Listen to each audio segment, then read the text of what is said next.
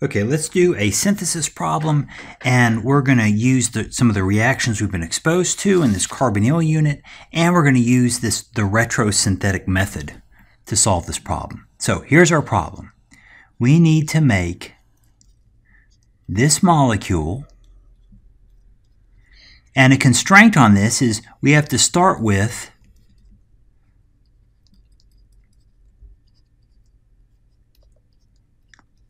benzene.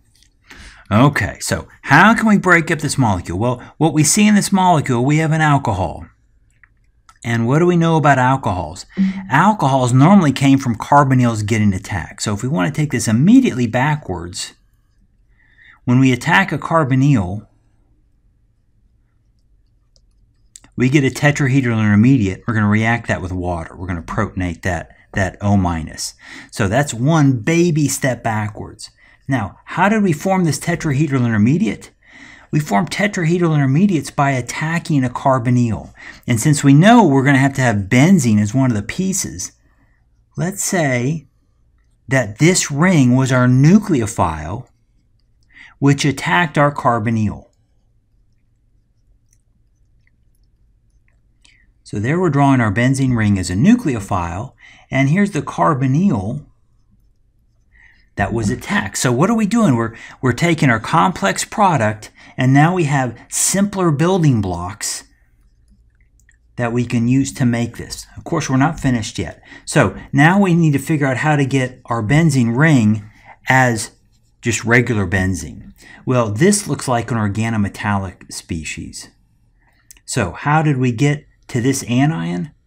Well, presumably uh, we make organometallics by taking things like halides and perhaps the bromide.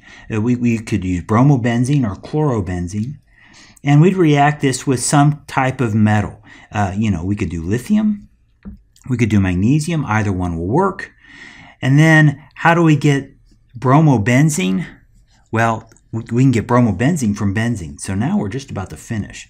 We can make bromobenzene by taking benzene and doing one of the very few electrophilic aromatic substitutions we know by treating it with bromine and iron tribromide. So now, here is a retrosynthesis. Let's write this out with reaction arrows. So we're going to start with benzene. First, we're going to treat this with um, bromine and iron tribromide. That gives us bromobenzene. We can then treat this, uh, our second step in our sequence will be we'll treat this with lithium metal, and that'll be two equivalents. I'm not so worried about writing that two equivalents. And we're going to get our organolithium. We could just as easily have made the uh, Grignard as well.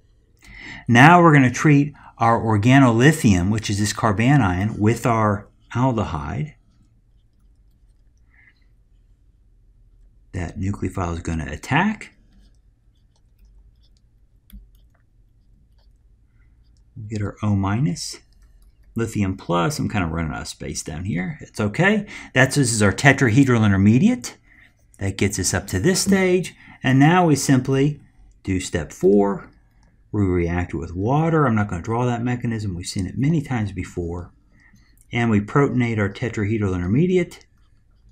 And we get the alcohol. We get our final product. So this is this is an approach. We have a complex structure. We try to break it up and go backwards and think about how would we start to get to this complex product. And then in the answer, we'll just carry it on forward from the end of our retrosynthesis all the way to the final product.